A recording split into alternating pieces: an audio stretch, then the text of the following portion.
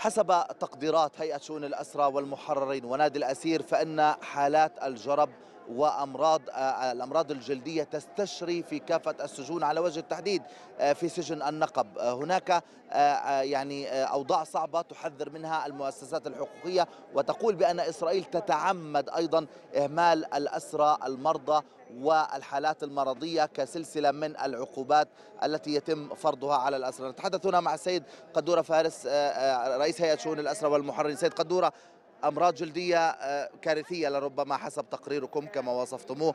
ولكن لماذا يعني هذا الإهمال؟ هل هو جزء من العقاب الذي تمارسه إدارة السجون على الاسرى هو أكثر من مجرد عقاب هي حرب انتقامية بالمعنى الدقيق والشامل للموضوع.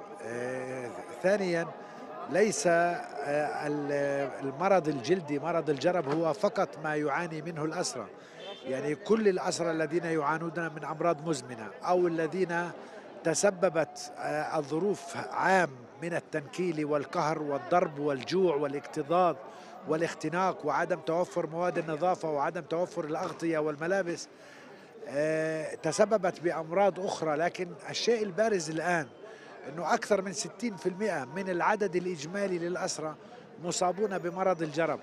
وليس مرضا سطحيا بل يعني تقرحات والتهابات وارتفاع درجة حرارة.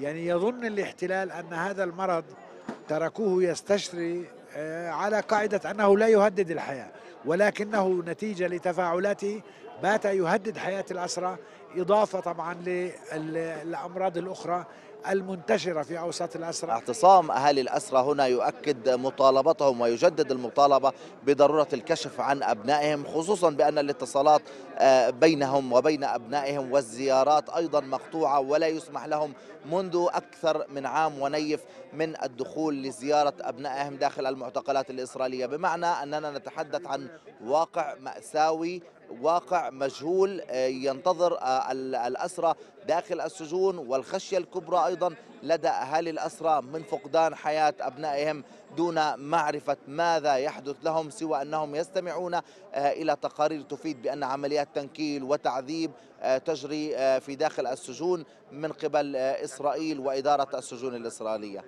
ضياء حشية الغد. رام الله.